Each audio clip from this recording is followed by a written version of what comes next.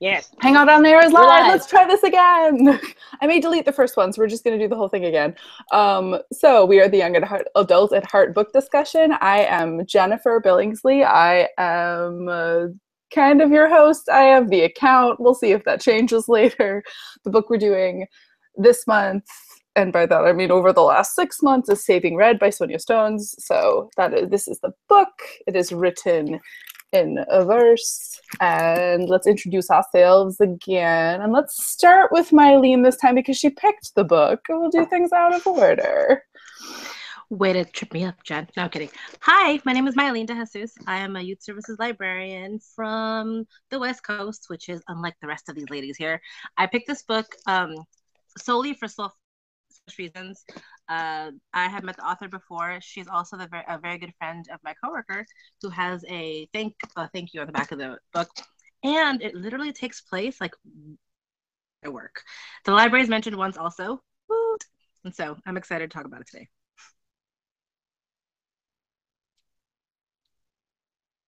Uh, this is why I don't mute because then it's like, who talks? Okay. Um, all right. So I'm Kim. I am a, we've gone from children and teen librarian to youth services librarian at a banging, well, I guess we'll call it banging, at like a big multi-branch beast of a library system um, in Connecticut. And I work at a branch, which is lovely because we're kind of a library of our own, but we're also redheaded stepchildren so there's that too. And a bookmobile, which means like I'm not just a redheaded stepchild, it's like you're the redheaded middle child. Let's just like forget it, like deal with your own life. But the bookmobile's lovely and yay. Yeah, it's So you're like Little Red Riding Hood going off into the forest all the time. hoping we don't get eaten like along the way. And by eaten, I mean hoping that one of my drivers doesn't like crash us. Terrifying. There are days where I'm like, I'm gonna die today. Today's a day. All right, I'm Crystal, and you can hear me now, right? Yes. Yay! Okay, uh, I'm Crystal. I'm a teacher. Um, I'm also from, uh, I also work in a small town in Connecticut. Um, I'm a high school social studies teacher. I teach 10th grade um, world history. And I'm Jennifer. I was Midwest in the Midwest, and now I am on the East Coast again. I am in Connecticut. I am the head of a children's services department, and the fancy title is Youth and Family Learning. The director of Youth and Family Learning. It's very, it's a very fancy title, and it's the middle of summer reading, so it does not feel like a very fancy job at the moment, but it's working. Um, yeah. So I am excited to also talk about this book. Um, I don't know if we need to read the if, Marlene, if you want to read the blurb again, I'll delete the other one. So we, tra- Anyone we had a false do it start. too. I'm I'm having a hard time reading poetry or, or stuff in verse. So if anyone else wants to read it, go for it I, too. I will I will read it if you would like me to. Like, I don't even have it. I got it. Okay. My name is Molly. This book is about me. I'm probably the guiltiest person who ever lived. But I'm not ready to talk about that yet. I may never be ready. This book's about Pixel too, my almost human dog, and about Cristo, my future my possible future boyfriend. Mostly though, it's about Red, this homeless girl I met in the park one night. She's a few years older than me, reckless and wild and more fun than anyone. But if Red survived on the streets these last few months, it's only been because of dumb dumb luck. It's hard to read this. And that luck might run out any second now. That's why I've made it my mission to get her back to her family, though it's hard to save someone when they don't really want to be saved. So, Saving Red. The book title is very accurate. I feel like the blurb, the blurb is you, you're like exactly you know what you're getting into, which is a book in verse, which is admittedly not my favorite. I didn't know that. So thank you for being uh, willing. no and i think it's a good it's a good it's a good book to have read i feel like it's i, I thought that no I, and it's cool that it's set it's set in california it's set in california it's it's nice that it's like set kind of in your neighborhood i think that that was an interesting piece of it So. There's one point where she's describing riding her bicycle past Fourth in California, and I know exactly where that is. I, I mean, it's like two blocks away from where I work. So I'm just like, okay, I see people driving, riding the bikes all the time. Any girl who's 15 years old, who's the main character's age, could have been this girl. And as far as um the uh, other, I guess I guess I wouldn't call her protagonist, but um, Red as a character, she's definitely here. I mean, I see any character, any any various numbers of people on a daily basis that could be read, for better or worse. So I did a little bit of reading up on the author, and her first book is something. So it's it's a it's a it's an autobiographical book about her sister basically having a nervous breakdown, um, mm-hmm. and so I think that while it wasn't my favorite, that the author. Oh, what is she doing? yeah, no, my cat is stealing the show. That is my cat. She did not read this book, so um, so uh but I feel like so I know that her first work really centered on her experience with her sister going through it because it's about like even the title is like my sister something or other. I can't remember exactly what it is.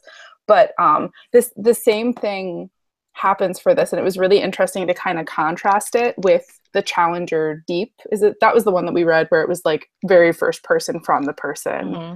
Um, from the perspective of the young man kind of like spiraling downward and like his bleed with reality. And so it was i think those were this was kind of two cool perspectives on it. And also because it was like two different like art mediums because having it be in verse mm. versus um, all of like the art from that i thought that was kind of that was kind of interesting. I also mostly listened to it as an audiobook and the audiobook narrator was really good. Um, Molly was a little whiny for me, but she's also like a pre she's like a, te- a young teen girl. And sometimes I feel like I'm really hard on those protagonists because I did not like myself when I was that age. and so you have to be very sparkly and spectacular for me to like really engage with you. I'm trying to like not hate Sansa Stark is really what I'm going at right now. Like how everybody was really anti Sansa in the beginning of Game of Thrones.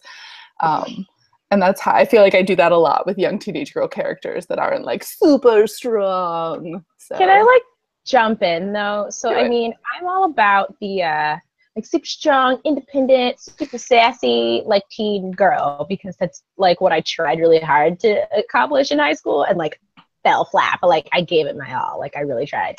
But I think I kind of liked that. I, I'm I'm backtracking to like the review I wrote like right after I read this, which is kind of always helping me stay in the game.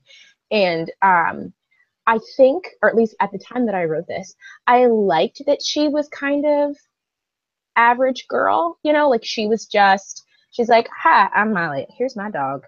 Um, you know, like she wasn't like super clumsy and yet, you know, gracious when like when she needed to be.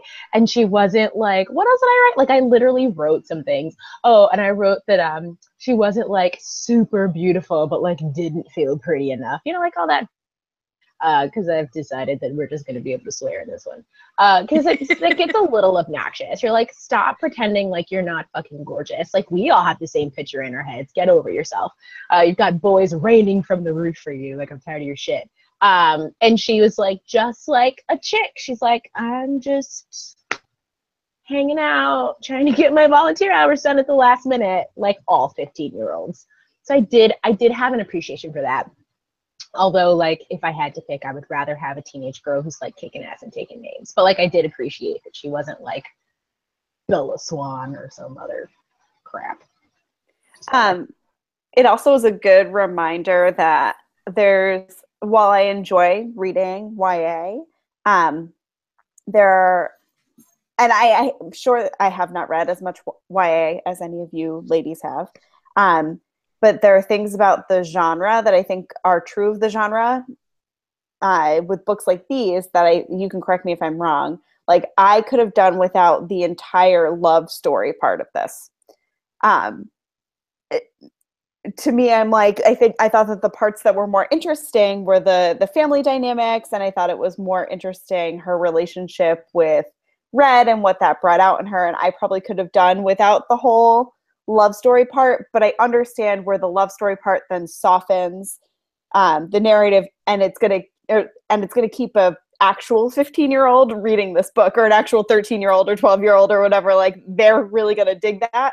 So i can understand where me i'm like eh i don't need that teenage love story bullshit. Like i don't need that.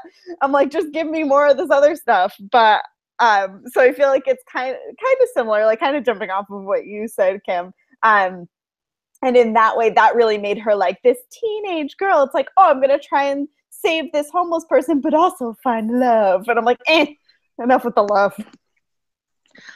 I was actually I saw right through that thinking they needed the Crystal character because otherwise the part about her having somewhere to stay and then having like um you know like uh, the dog having another friend as well like they needed that as part of the the the the pieces in the story. So like he wasn't necessarily important, but the physical location of his house was. So I was like, okay, I can I can get beyond. And like the absence his... of of a parent adult figure yeah. at that location, like it was very like plot specific. At least that's what I, I thought too. So can we let's so let's play off let's play off of these two things now. So let's play off uh now see I I am a horrible human being. I was not mad at that romance, but I think I wasn't mad at it. Laugh, Crystal. I think I wasn't mad at it because it was so tame and fine.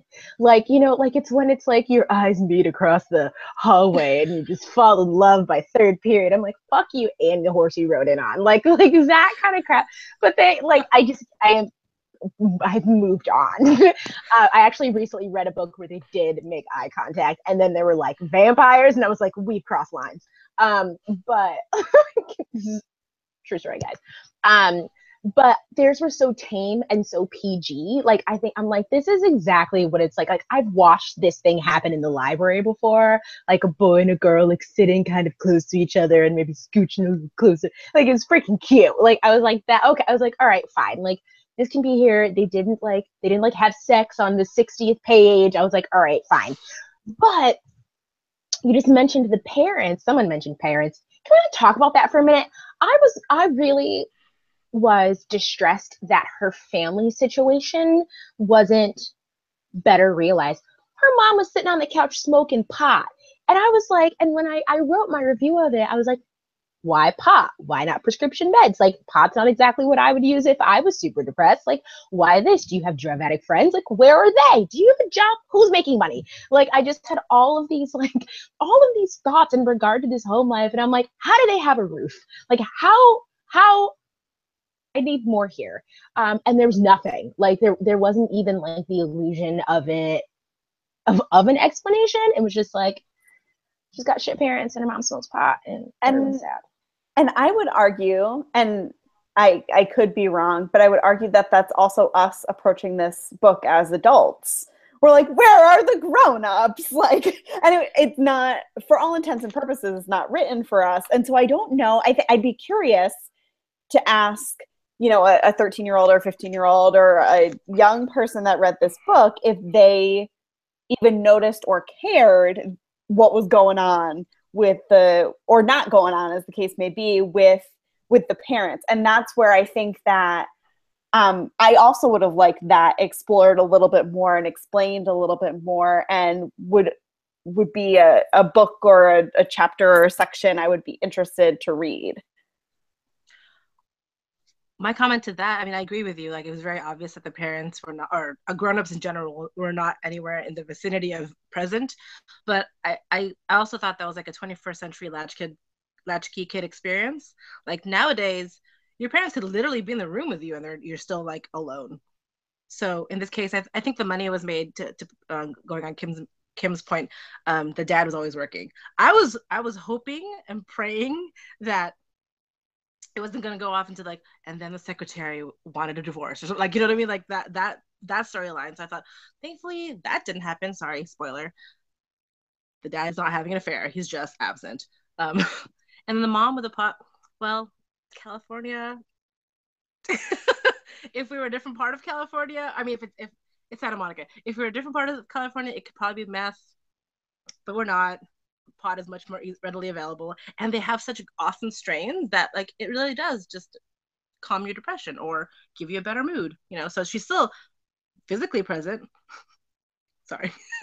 I love I love that insight. like I it was just amazing. The best thing, like, no guys, if it was like four counties down, they'd be smoking meth. But like here, here is the spot. That's my favorite thing.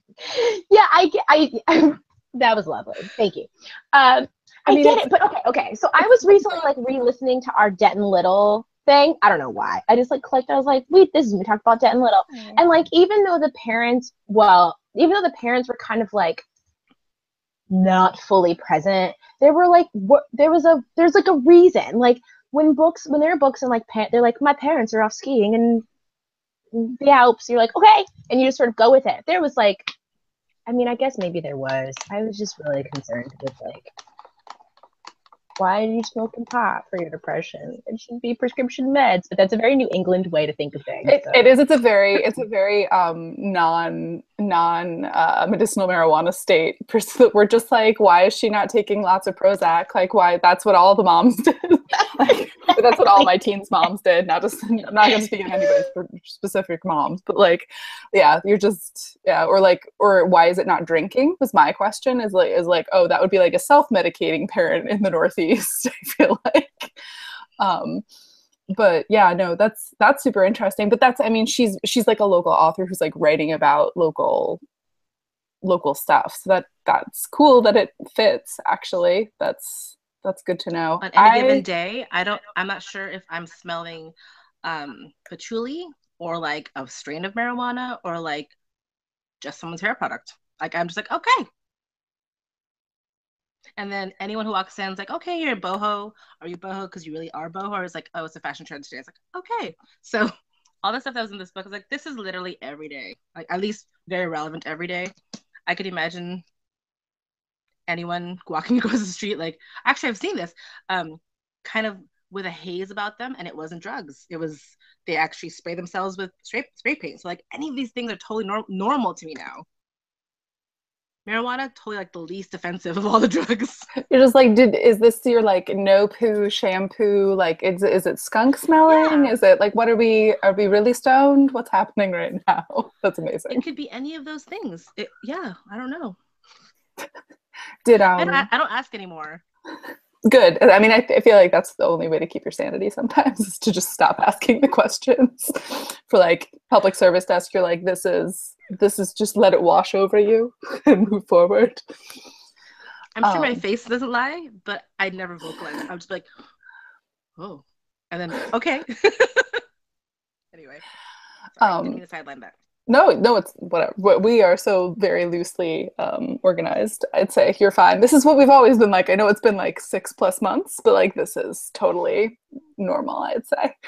Um, aside from the scary demon monster who was talking to us through the speakers earlier that was a new a new thing. I may just leave that up because because we might to- reference we when might one of us dies. No. Um, the but yeah, so my favorite character. So I I agree that like the the parents not being present bothered me as an adult. I also thought it was like really tidily wrapped up at the end. Like it was. I appreciated that they didn't sidetrack her storyline with like there being an extramarital affair or anything. Like I liked that it was just like they just needed to get their shit together um, and pay more attention, and that they acknowledged that and apologized. I thought that was really good but it was also like really tidy. Like even though it was like professing itself to not be like, oh, everything didn't turn out awesome. And it's like, yeah, but your parents like acknowledged that they hurt you and decided to do better. And then like super spoiler alert, don't just turn it off if you haven't read the book. And then her like her brother like texts at the end. I was like, well, that's extremely so tidy. mad. I was damn furious. That's literally all I have to say about it. But I was damn pissed if that had happened because I thought it just kind of ruined it. I don't want to say ruined everything. Those are very strong words, but I liked that it wasn't all neat and tidy with red. Like I was like, cool. And then she got that damn. I was like, oh hell. I was pissed. right Is she setting up? Does she have another book, or is she? Is there a plan for another book? Do you know that at all, Mylene? Um, I don't know that, and I should have looked up looked into it, but I don't know. I could find out very easily. I didn't see it. It didn't have the Uh, yeah. parentheses next to it that indicates the second book in a series is it even announced. Because like remember when we did Denton Little's death date, we were like, shocking revelation. like point one. Like, well, who are you? Where's the second book coming from? um, because that's what that ending felt like to me is like okay and now here we are and we're going to set up whatever the next or an ending like that feels that way like we're setting up whatever the next installment is and so to end it there like very much felt like and read the next book to find out more like where, where has he been what has been going on like that's what that felt like to me I think that um no go. Oh no no no! I was gonna say no offense to Sonya, but I hope there isn't another one, just because.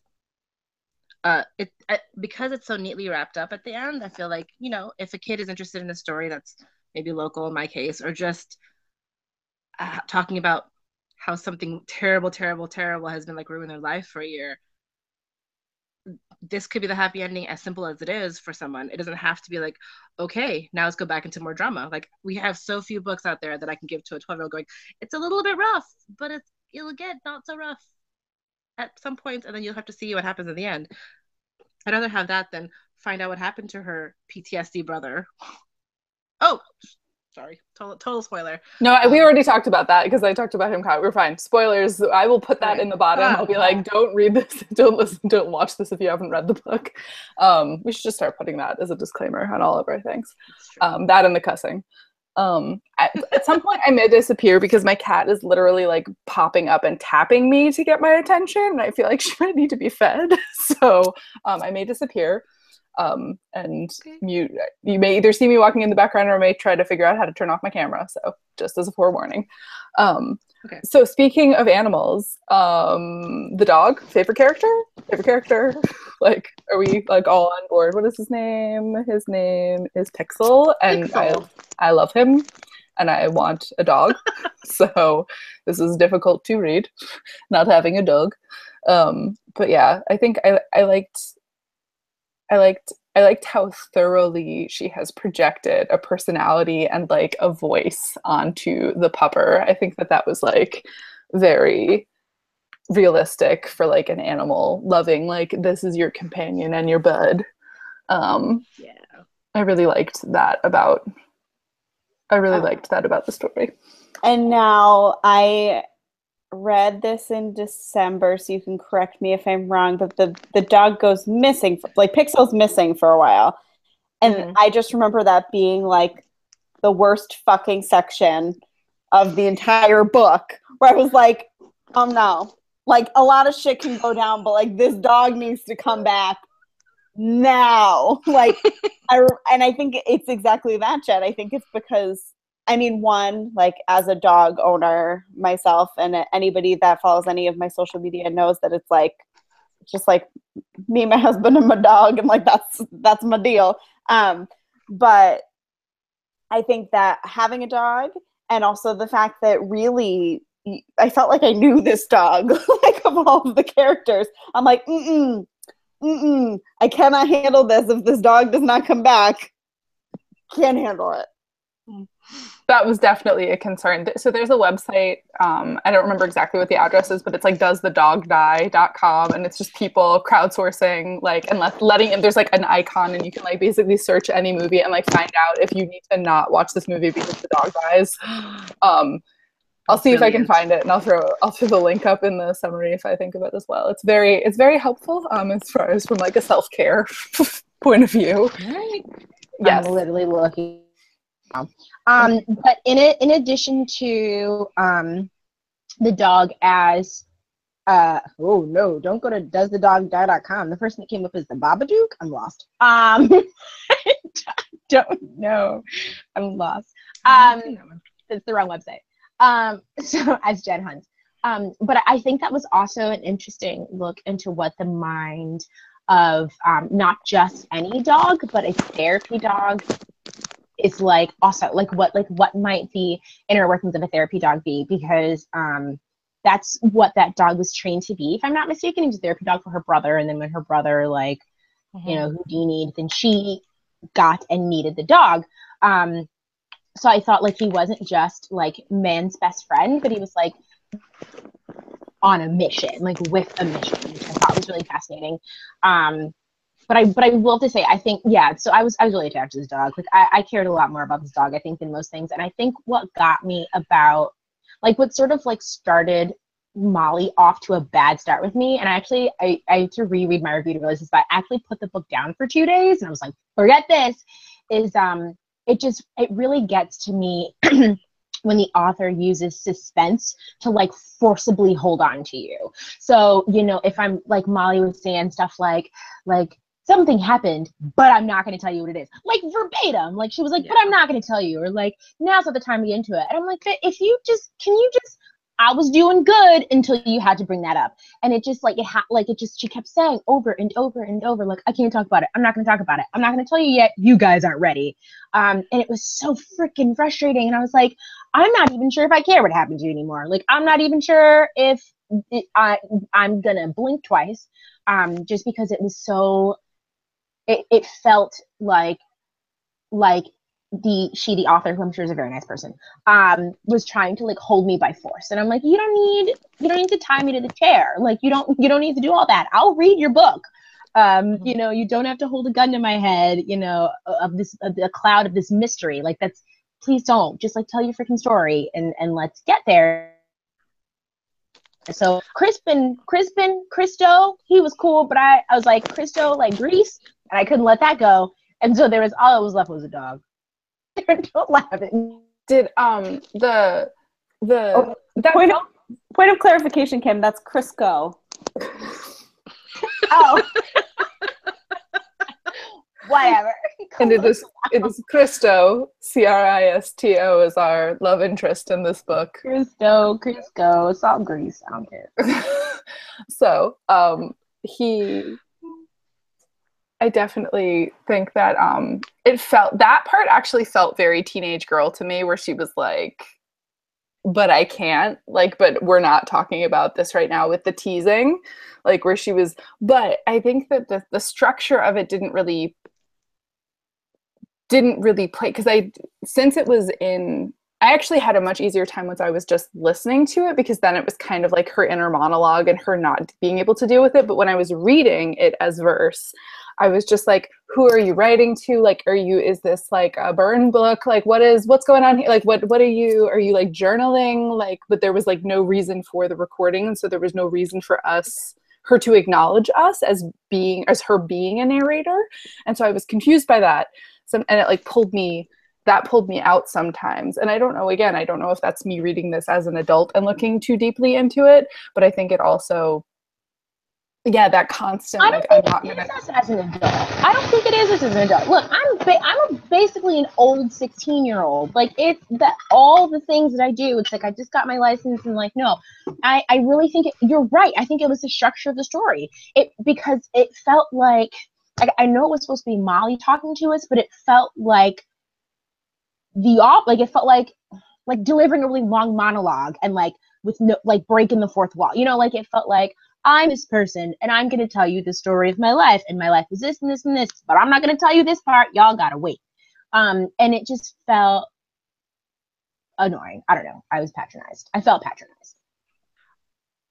I mean, I, I agree that the suspense portion was maybe a little too long drawn out. Um, having her do it like once or twice, or just like a couple times to make you really understand, hey, she's not comfortable with this particular topic would it would have been enough, but it was almost like and sorry if I if I'm gonna kill for everybody. I um oh god. Oh now I'm blanking on it. The the story that everyone anyway, hopefully we can edit this out later. Um where the girl inevitably gets raped. That one. And she, the whole t- the whole story, she, not not this story, but like the the story itself is she can't talk about her having gotten raped, and so the whole story is her not talking about having gotten raped. It was really do you remember which one it was? Anyone? Anyone? Crystal just t- is it Speak? Is it Speak? Yes. Laurie Halse Anderson. Yes. Yes. Okay. Mm-hmm. Very important as far as like uh, having a conversation about it, but the same type of um mechanism. I felt like okay, I get it. I, I understand you don't want to talk about it, but then don't talk about it. Don't talk about not talking about it. that's how I, I felt about it. I was like, okay, I get it. I can I can walk away from that, but don't lend itself to like us wanting to know, and then you just go, oh, I, I, I can't, because it doesn't make her seem less traumatized. It just makes her seem like, yeah, annoying as a teenager. It, it makes it makes it feel like she wants you to want want to know was what it felt. Like. and you're right. Speak did it. Speak did it in a really interesting way. But this way, it was like, I want to tell you, but I'm not going to tell you because I know you want to know, was what it felt like. Um, and I'm wondering if that would have played better if it had been more explicitly her journal. Like if we had known mm-hmm. that it was her journal and she had essentially, I, I think that it would have, I don't think it would have been as jarring. And I didn't, this is not necessarily something that I picked up on. I didn't I don't necessarily share that opinion. I don't remember being put off by that. Um, but I I think that if I could hypothesize, right, that if we if it was upfront that the structure was a journal and the way that she was writing was I'm I'm not ready to write about that like maybe tomorrow will be the day or something something that acknowledged that this is her inner struggle that write that- about this would have cleared it up for me to me, me like immediately. I would have been like i'm not ready to write about this yet. Would have totally i would have been like this is a journal. Like and i don't know. Yeah i think was it a journal or are we just now on to oh i don't i don't know whether or not it was but i'm saying i think that maybe you w- it, it would have been easier to digest that suspense piece and like not being able to process all of this if you're like oh yeah this is very clearly the thoughts of a teenager that are being you know put into her private journal and yet that might have made it a little bit more palatable as opposed to just like feeling annoying. And again i didn't share that feeling but like I, I could see that being, you know, an, an easy way to remedy that. I agree. I, I agree whole, wholeheartedly. Yeah. If it was, if the story, and see, it, I think it also depends on the way you read it. So, like, if the story, if you read the story as her talking to herself, like, if you read the story as if like we're in her brain and and we're just sort of observers to her life, then then maybe it wouldn't have been so frustrating. But just some, for some reason, and I like books in verse, and I think maybe a lot of them do easily depict the fact that we're bystanders watching them live their lives. But for some reason, this one felt like someone on a stage talking to me, like David Sedaris giving me a show, like a not funny show. Um, and I don't know why. I don't know. Mylene, you're looking at the book. Maybe you can help me figure it out. But yeah. For, for, to me, it just felt like like this person telling me a story, but like wouldn't tell me the whole thing. Like, I think, over here and tell me, then tell me. Is it? I mean, I know that yeah. in the blurb in the front, it definitely says, "And this book is about me." And then the very, I think maybe it's like that performance aspect of it becomes because I feel, I feel like actually like read listen, listening to the audiobook and hearing it in um, a young seeming voice actually it really does kind of work as a performance piece too. It sounds like like it sounds like spoken word poetry and just like the very on the very very last page the fact that it, it does that it does this countdown at the top at the top um, and then it, it's talking in the first person at the very end of it. Um, when again spoiler that it's the and that's when my phone buzzes. I pull it out from my pocket expecting to see a text from Cristo but it's not from Cristo. It's from noah. Noah. Like it's like like it's written it's written like dialogue not necessarily like like it's written or it's written like poetry that's meant to be performed not read. Do you know like how like shakespeare is difficult yeah. sometimes. Does if that makes sense? as opposed it does it does. It's also been a really long time. So i don't i barely remember. I, I do that's remember a really that good very point. feeling but i don't remember why I'm gonna have to see if I can listen to this now because I usually listen to our books on audio, and that gives me a whole different perspective on it. But this is one of the ones that I was like, oh, it's a book in verse. I can read this. I can do it. Um, I can't read more than the words. I'm just saying I'm a little lazy. Um, but but because I had to read it on my own and like hear her own voice in my head, I was thinking, it's it's like my own journal, but like I'm not interesting at all. Or you know what I mean? Not that I'm not. In- ah, more more like a okay, this thought was a thought I should inner monologue. This thought was a me telling you what's going on. So like, yeah, the performance aspect of it w- would change it for me too. Interesting. do um so i i actually i really appreciated that in the actual book she has all of those links to like mental health services and she talks about like the inspiration for her um I think it's so okay. So the first, so first of all, the the book that she wrote about her sister was her like big one, and it's um it's called "Stop Pretending: What Happened When My Big Sister Went Crazy." And so I read like, that book.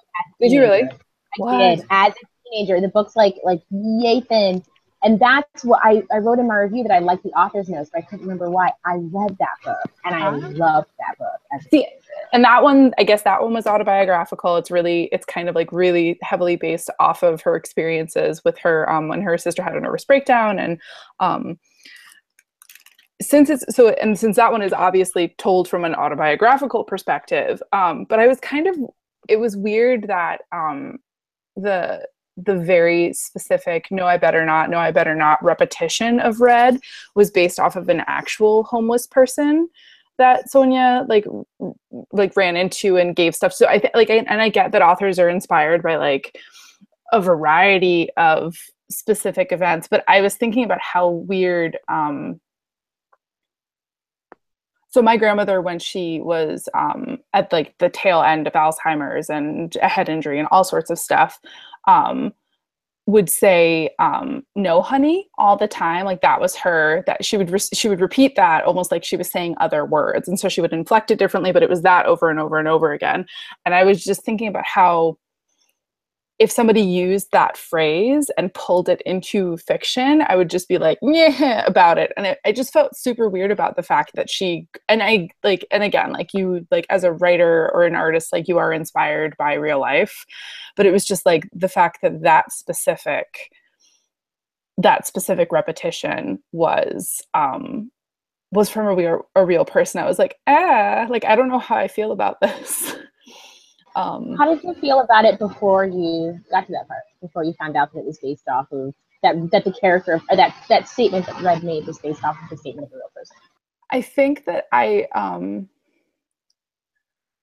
the character of Red in a lot of ways felt really so so sometimes she felt very real and sometimes she felt like a prop for Molly because it was Molly's story. It was Molly who was Molly who was striving and whose family relationship was changed by this. Um, but and I also I and it ended up being positive how Molly was like reaching out to this family and that it was like it ended up being good because it got her back to having help and having a hospital like having being hospitalized but um, which she obviously needed because she was a danger to herself but I also was just the fact that her she was so focused as a character on getting this family back together because of her own family felt very real as a teenager.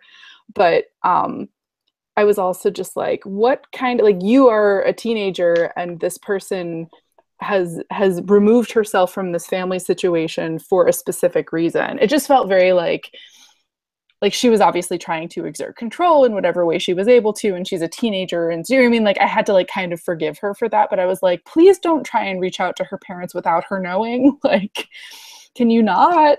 Because you don't do you know what I mean? Like you don't.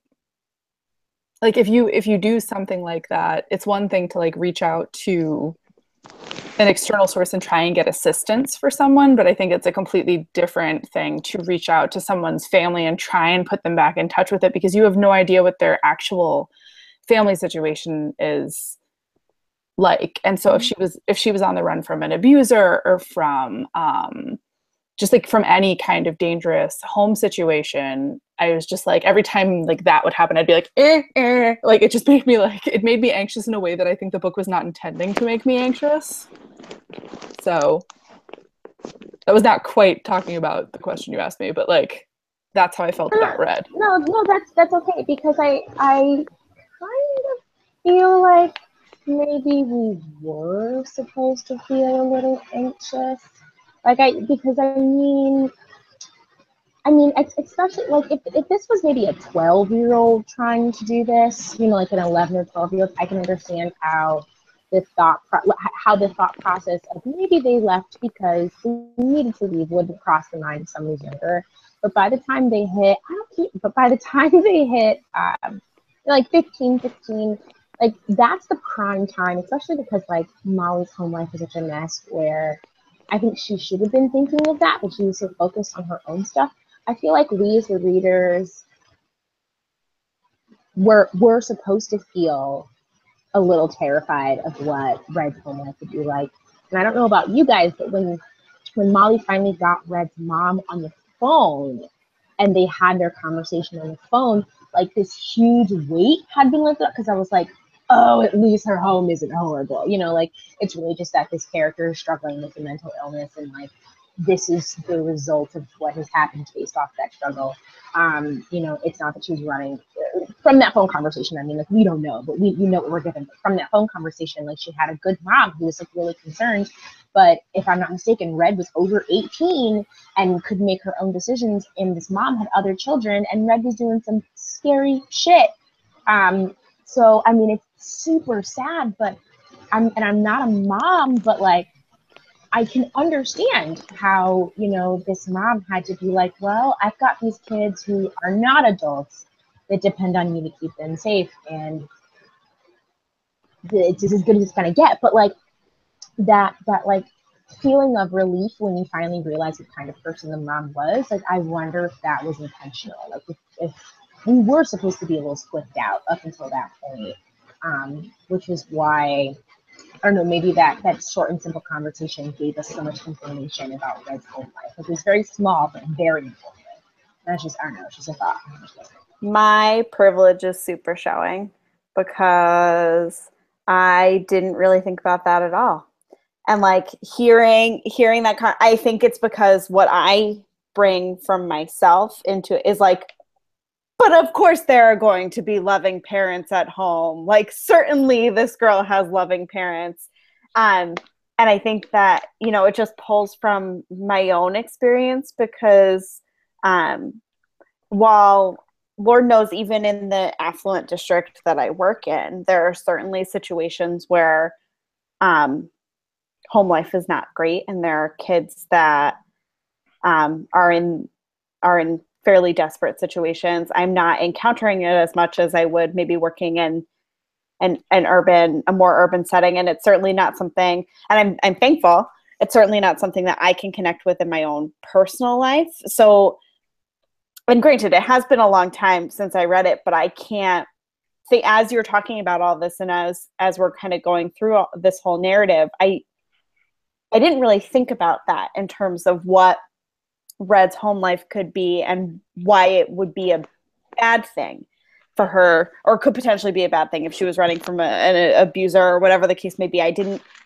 that's not something that crossed my mind. I think that coupled with the fact that I, I did want a happy ending for that character too, you know, so there was, there were those things, but I, um, it's just not something that I really thought about. I think that the, um, I think it's really interesting because so what I've worked in a couple of different places and just speaking just speaking as as a kid who was raised in a in, in a very affluent area and then a a person who's worked in affluent areas and then also in less affluent areas.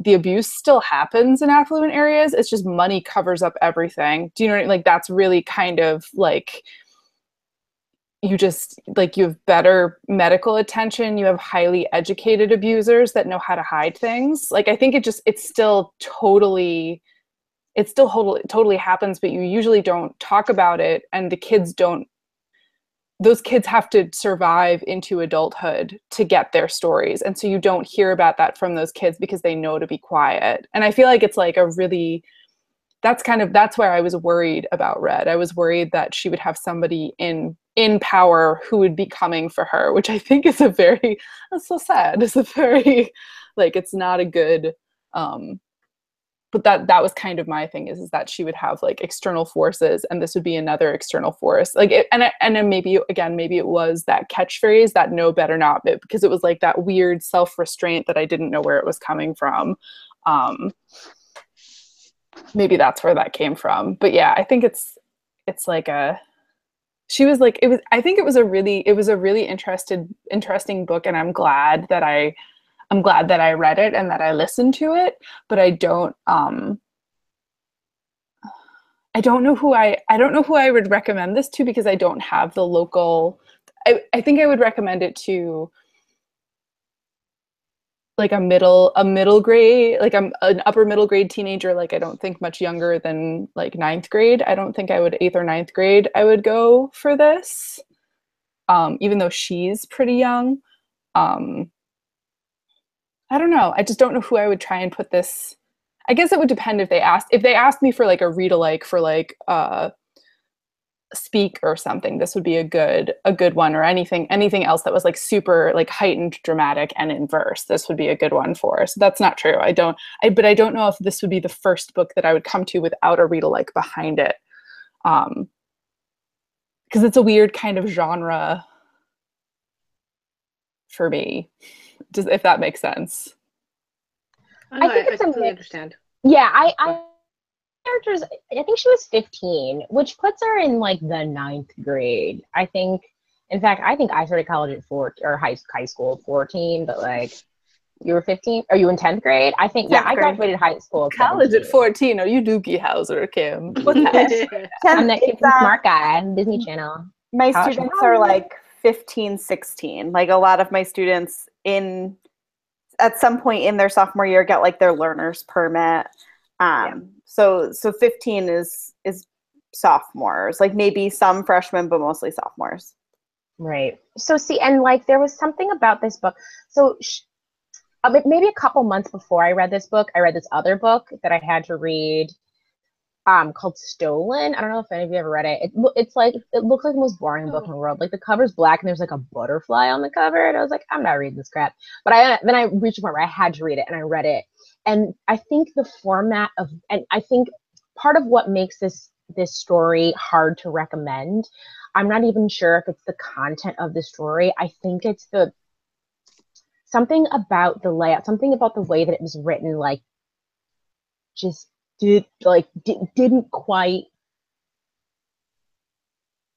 compare it to Stolen, which would be the book that I would recommend. Like if I somehow wound up down a competition path where someone wanted a book about someone who had some sort of mental something to deal with. Stolen is written so like the book is about a girl who gets kidnapped in an airport, like legit, like in an airport, I want to say in like France and wakes up in Australia in like a cabin in the desert and it's like, fuck. Um and so like Oh. that's basically what she like in and you're like, how the fuck did she even get here with some man? And this man kidnapped her in an airport in like in like France. And so um but but anyway so the, but the way that the story is written and it takes you a little bit to catch on so you do have a little bit of that like uh, confusion isn't the right word but you do have a little bit of that like what am i reading that you also got from saving red but you quickly enough pick up on the fact that she's writing him a letter so the whole book is her reliving she ultimately winds up with um munchausen's is that the one where you fall for the person who kidnapped you? No, Munchausen's is where you swallow things. Stockholm syndrome. Stockholm. Stockholm. Sorry. I get my diseases mixed up. I watch too much like untold stories at the ER where this stuff is happening. So she so she winds up ultimately stop laughing, Jen. She winds up ultimately with Stockholm. Um, so and and it, it's like banana. The way it happened is so quick. You're like, what? Um, but but there's something about the format of that whole thing that works and i feel like that's what saving red tried to do but like something like it just just didn't quite and if anyone's ever bored and decides to read that book like i would love to revisit that theory that i have that i'm not sure if it's true but i think it's true. Um because you know like we were talking about how saving red is kind of like is it in her own head? Is it kind of like a performance piece? Like you know is it is it better to is it better to be listened to than read? Whatever.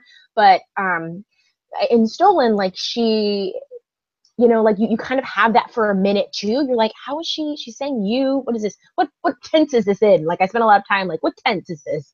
Um only to realize she's literally saying you did this and when you did that you you you you you. Um which was weird, but then like then once you're reading it, you couldn't imagine it being written any other way, and like just it just didn't get here. Oh, some there's some illness where you swallow things. I think, and that my story. There's an untold story the ER. I real. I'm stay in the hospital. All right, I'm done. Just I'm done. Moving on. But that, that was my that was my thought.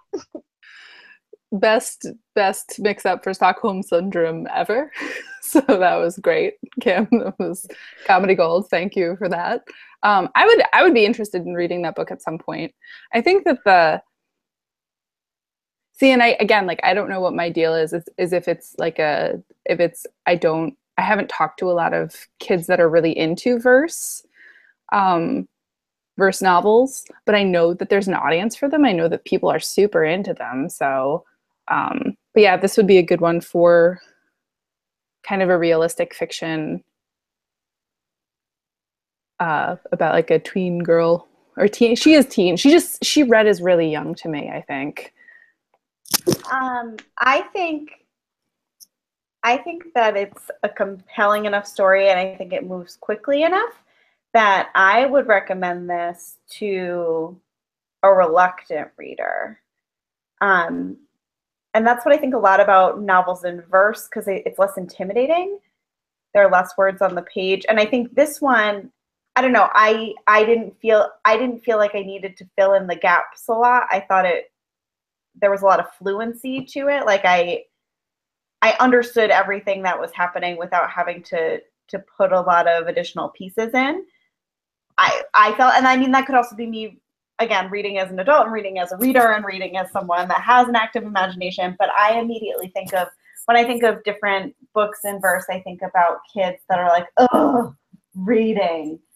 Because I think it's a lot less intimidating um, if it's something that they can really digest and they can really move through quickly. Um, and so that's what I think about with with this one. Val, you wanted to say hi to the girls? Hi, Valley. Kisses. Oh. I want one, please. but I agree with you. I typed it, but I agree with you. Uh, this is probably a really good um, book for a reluctant reader who wants to read um, contemporary fiction. Yeah. And someone who likes like something along the lines of like not like what is it? What's the new Archie one? Riverdale. Like it's it's got that like heightened, intense drama in like a very specific setting, kind of a deal to it. So I think that would work. That's good.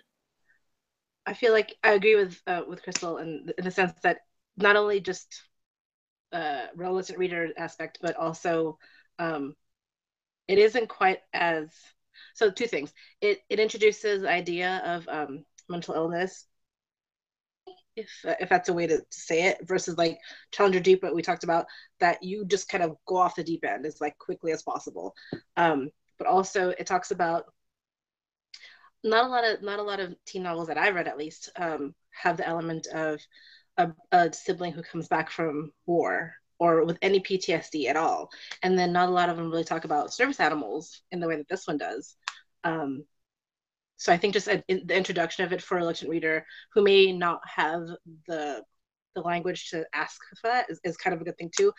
Again, because I'm more privy to this type of like environment, and I do see kids who don't want to read, but like this could relate to them because it's Santa Monica.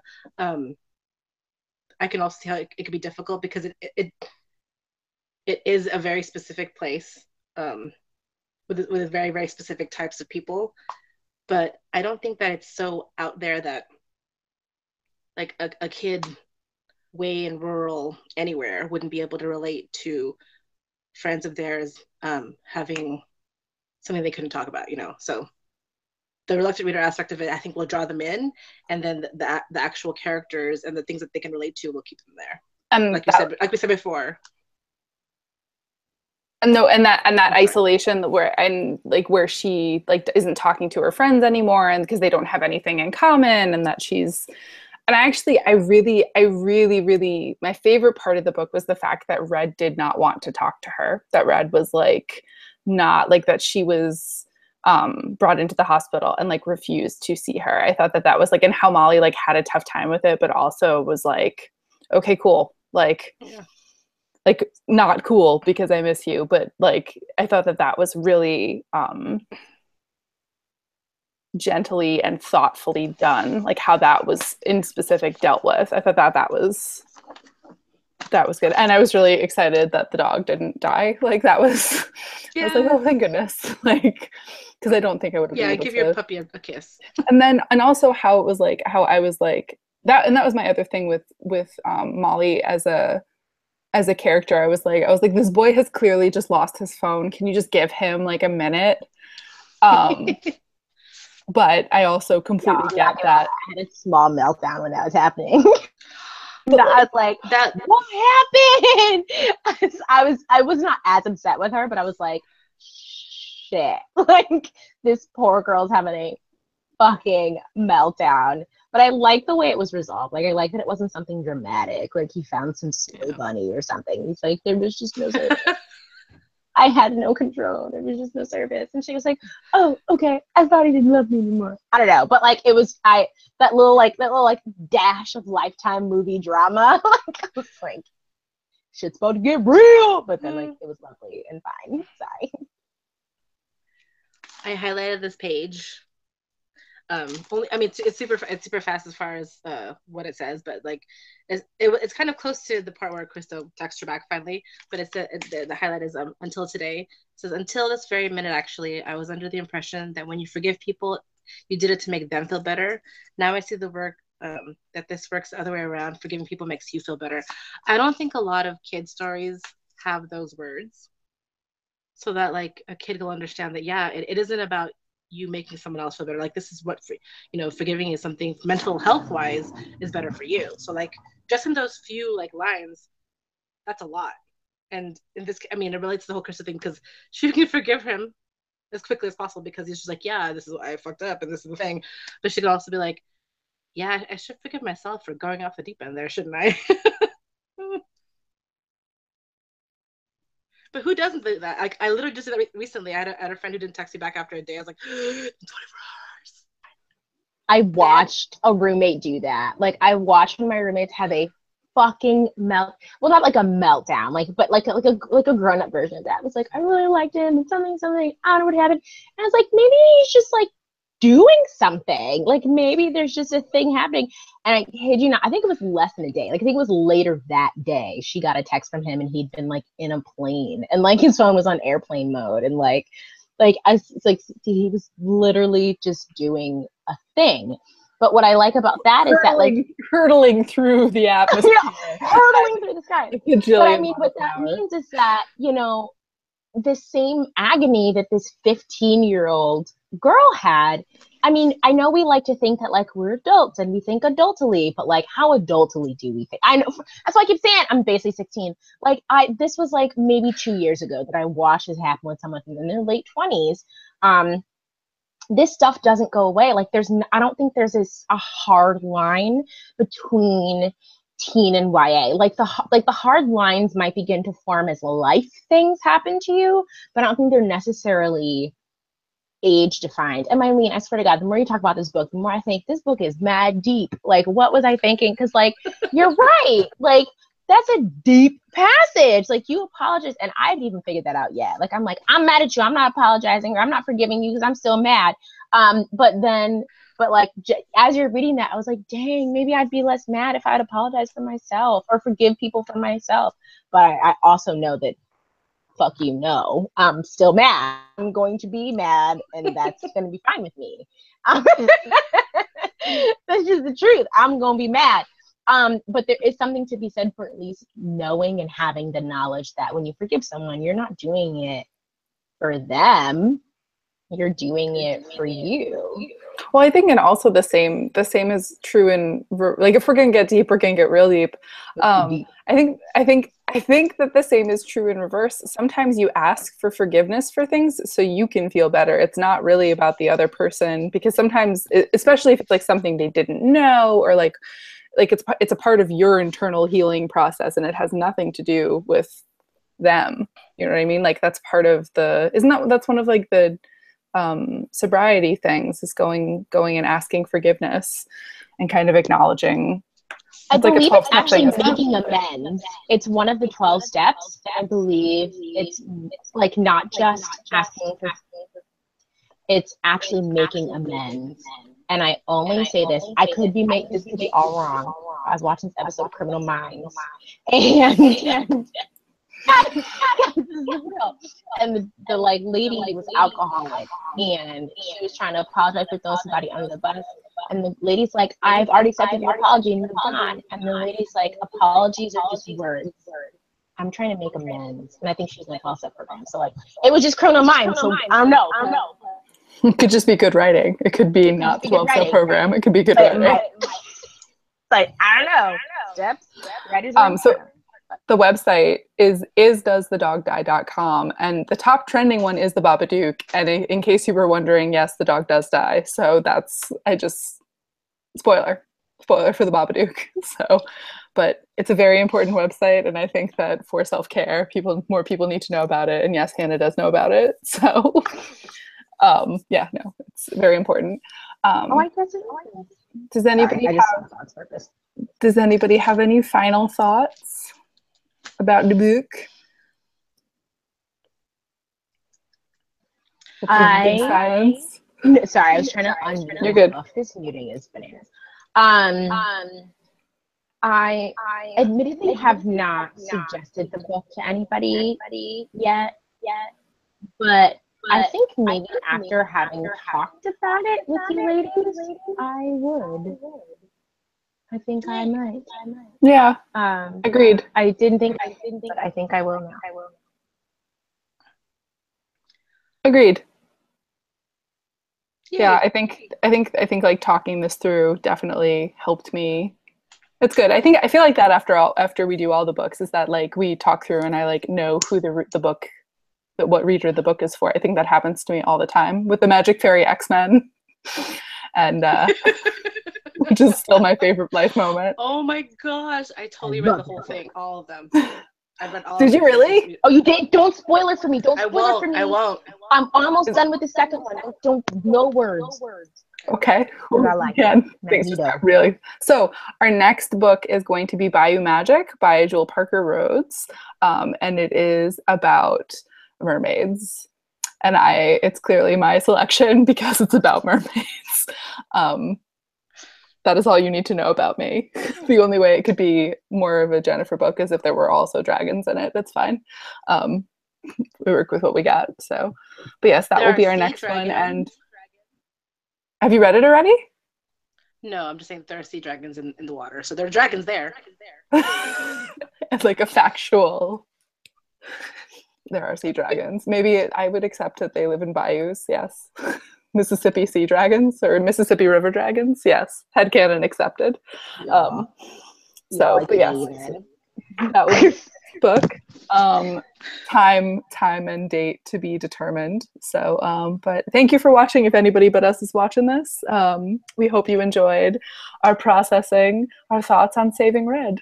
Um and cthulhu if you are out there still listening to us we hope you really enjoyed this too and i'd love to hear your thoughts about this wonderful book so have a good night everybody Oh no! I didn't hear it, which makes